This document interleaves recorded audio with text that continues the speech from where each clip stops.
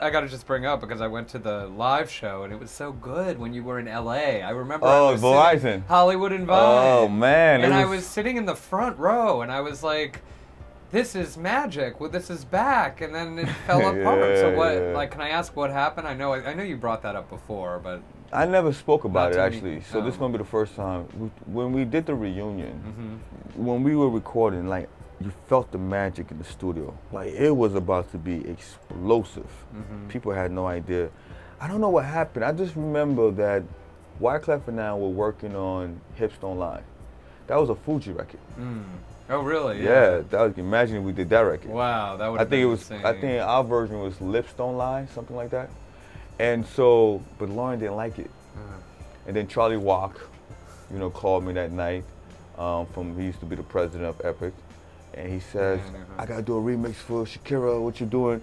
I said, "You're not gonna believe this, man. I'm depressed." Lauryn Hill walked out the studio. The Fugees done. He said, "Are you serious?" I said, "Yeah." Over hips don't lie. Well, it was other things that happened too, but Yeah. that record, she definitely was like, "No." Mm-hmm. And so Charlie came to the studio, and we start recatering the record to more like a Shakira vibe.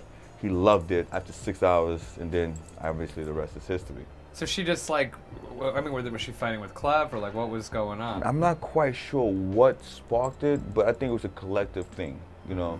And then that day, she just was like, "I'm moving out," Wow. and then she left the studio. Oh well. So is there any chance? Will it happen again, or is that it?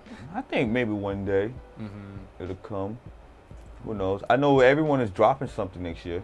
Yeah. Wyclef dropping an album, You and me and Lauryn. So Just hopefully not all at the same time. It'll be Well, a little one, bit I, no, I don't think it's gonna be the same time. Yeah. But I know there's gonna be three different entities. You know, Wyclef is focusing on his experience as Haiti, so it might be an actual, real carnival-ish type of album.